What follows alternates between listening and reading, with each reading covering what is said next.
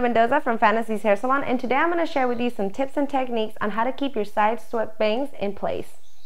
To keep your side swept bangs, what you can do is you can lightly tease starting from the front area um, anywhere from half an inch to an inch of thickness in sections and I'm going to tease from the bottom only about one fourth down from the hair strand. So not too high up from the back and from the front and spreading my tease so that it can lock in the hairstyle.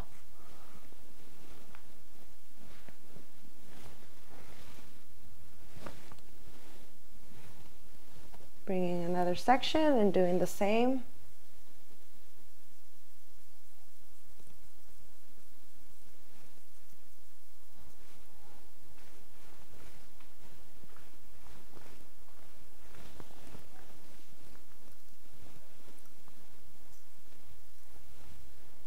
And the last section teasing only from the inside.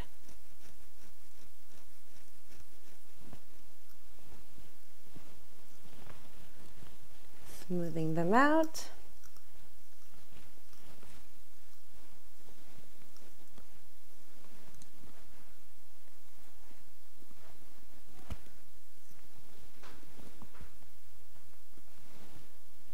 Doing the other side of the bang, only from the bottom area.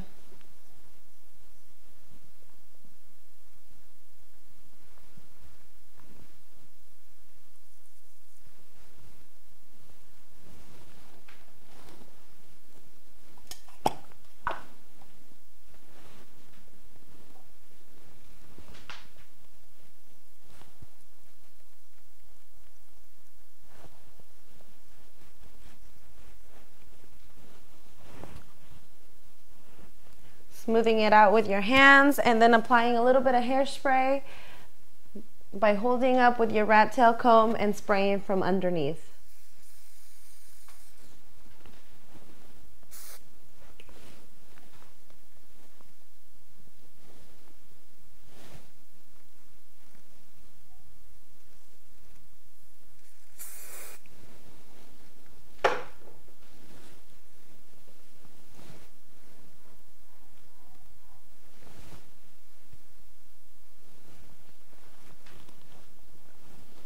Great.